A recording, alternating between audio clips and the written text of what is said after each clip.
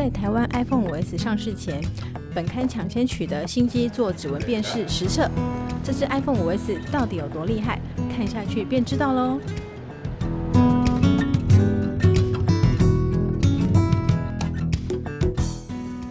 iPhone 5S 的指纹资料要如何设定呢？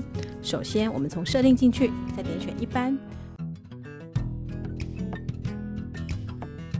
密码和指纹，再点选指纹，就可以加入新指纹。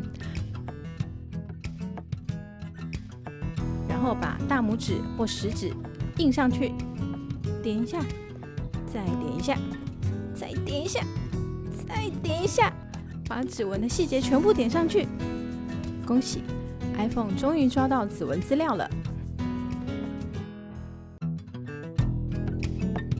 指纹辨识技术，网友恶搞酷手的最大目标，像是猫爪辨识、性感嘴唇辨识，连脚趾头跟乳头辨识都出炉了。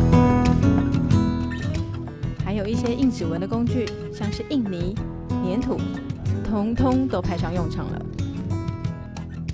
不过话说回来，搞这些特殊部位皮肤搞怪工具的辨识，网友们可是试了非常多次，才终于成功呢。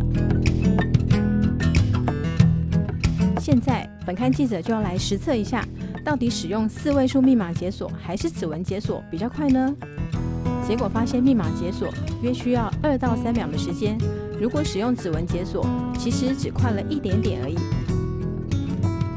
记者还发现，只要是同一根手指，而且左右手都输入我这样按，或是转这样，还是用左手这样按，通通都行哦。这样的 iPhone 5S，你心动了吗？